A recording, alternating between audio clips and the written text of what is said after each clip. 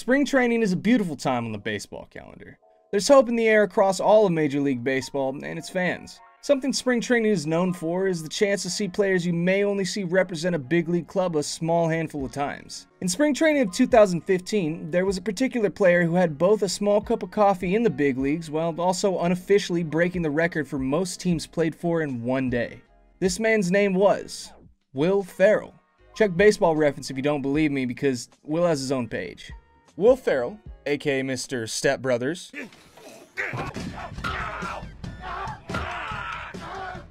Saturday Night Live, After a supper of jackrabbit haunches, we laid out beneath the stars. Somewhere in the distance, we heard the pounding of native drums. and a bunch of other critically acclaimed projects is, as Google says, an American actor, comedian, writer, producer, and businessman. But what some of you may not know is that he used to be quite the athlete in high school.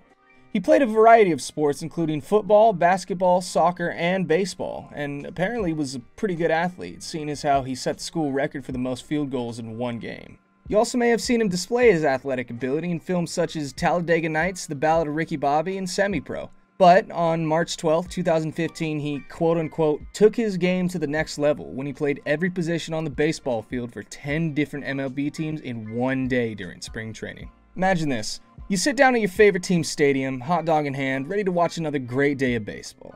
The first pitch comes down and it's fouled straight into the air, and lo and behold, Will freaking Ferrell rips off his catcher mask and catches the ball. Well, it may not have quite went like that, seeing as how everyone knew he was going to be there, especially since one of the games he literally landed on the field in a helicopter. But he did do something like this in 2010 when he came out on the field for an Astros minor league team with a six pack and a fake mustache as Venezuelan criminal Billy Ray Rojo Johnson. We'll drop that link in the description if you want to check out that wild footage. Let's give some context because this wasn't done just as a hey, this will be a funny documentary to film with Will. The main reason behind this project was to raise awareness and money for a charity started by a man named Craig Pollard, a college baseball player who developed cancer, which in turn ended his career. The charity is meant to give scholarships to other cancer survivors, and in doing this project, they were able to raise over $1 million for the charity. Now that we have the score set, let's get into game one.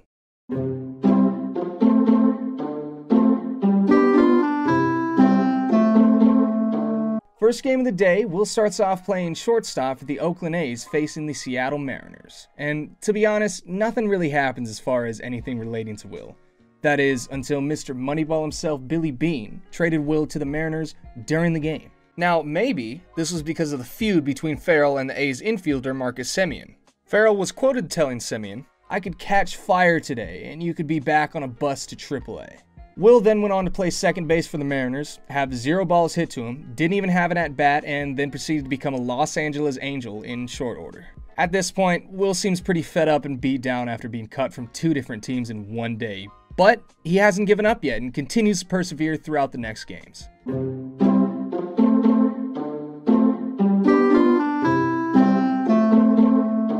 Game 2 of the day was a special one for Will because he played center field for his hometown team, the LA Angels. He is a huge Dodgers fan though. Will would take the field for the Angels, replacing the previous year's American League MVP, Mike Trout. Trout would go on to win two more MVPs and become the unquestioned best player in baseball within a couple years, but today he was more or less Ferrell's backup. Now, this was the first time he ever got some action and was actually able to keep it under control. The Cubs hit a line drive towards Will, and he actually managed to field it and hit his cutoff man to hold the guy at first base. Albeit not the cleanest play I've ever seen. Out there, does a good job, fires the ball towards second, and holds. But hey, he was then traded to the Chicago Cubs for a washing machine, which is actually a reference to one of his older movies. The positions he's then playing for the Cubs are the third base coach and eventually first baseman. Gotta say, definitely one of the most unique yet effective techniques I've ever seen in all of baseball. Ferrell with the sign saying swing as hard as you can. And that was when the uh, big sign that Will Ferrell's holding up says, take a pitch. Outstanding stuff. After giving some of the greatest calls I've ever seen, he would then go on to hit for the pros for the very first time and unceremoniously strike out on three pitches. Nothing really came of him being a first baseman, so the Cubs traded him to the Arizona Diamondbacks in exchange for a churro dog and a D-bat dog. The sweet treat was promptly eaten by Will as soon as he arrived in the Diamondbacks dugout.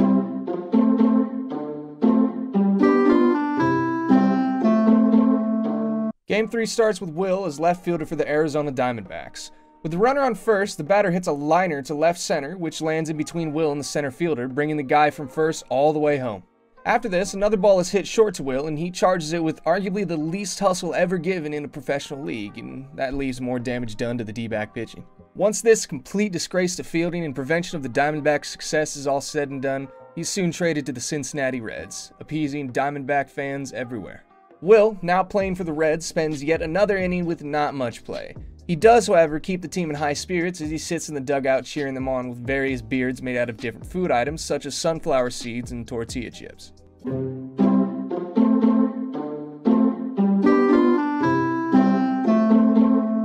Game number four, Will starts to run a little behind schedule. So what's the reasonable thing to do? Land on the field in a helicopter, of course. This is the bar where they're playing copyrighted music. This is the bar where copyrighted music is being played. Come on, baby, don't fear the copyrighted music. Come. After this big show of an entrance, he starts the game for the Chicago White Sox as their designated hitter. The outfield must have seen the scouting report for Will's at bats for the Cubs, seeing as how they came in just about as far as they could, completely underestimating Will. The first two pitches come down and they're both watch balls. Watch balls. Third pitch is a called strike, and the fourth is a swing and a miss. But after this, something magical happens. He actually manages to foul a pitch off. Will Ferrell has just made contact with a pitch for the first time in his entire professional career. Then he immediately strikes out. But hey, that's that's something, right? Walking back to the dugout, seemingly defeated with his tail between his legs, Will was then traded to the San Francisco Giants to be their new catcher. Catching some warm up pitches goes fine, but as soon as it's game time, they choose to intentionally walk the first hitter and get rid of Will. He's quite upset by this and has a very good conversation with the coach about it before his time as a big league catcher is over.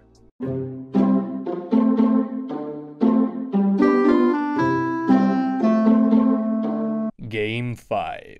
Last game of the day Dodgers versus Padres. Now, this is when Will really gets to show off all the talent he's been building up for all these years. He will start the game by pitching for the Dodgers. First batter of the day comes up Rico Noel. Ferrell comes down with an absolutely beautiful 120 mile an hour knuckleball, and somehow Rico is able to actually bunt it off towards first base. Will cleanly fields the ball and gets the guy out at first with a perfect little toss. Even with his career zero ERA and whip for the Dodgers, he is instantly removed from the pitcher position. Completely outraged, and for good reason, Will throws a rampage down in the Dodgers dugout. Say that one three times in a row fast. Gloves are flying and coolers full of some sort of magical sports juice are being flung everywhere. Absolute carnage. After Will goes feral in the Dodgers dugout, he gets his last playtime of the day as the right fielder for the Padres.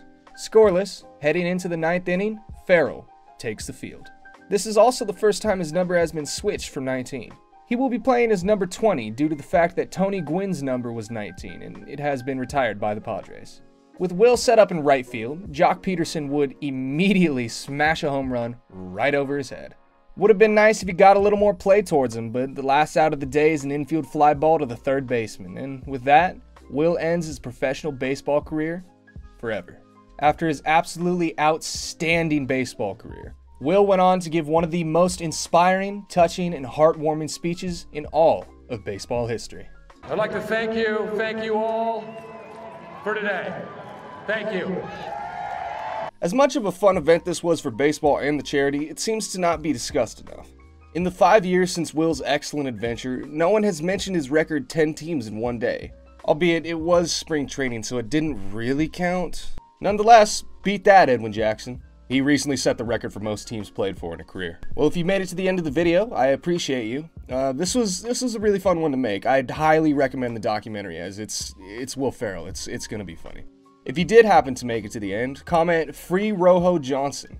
Anyways, have a nice day. See ya.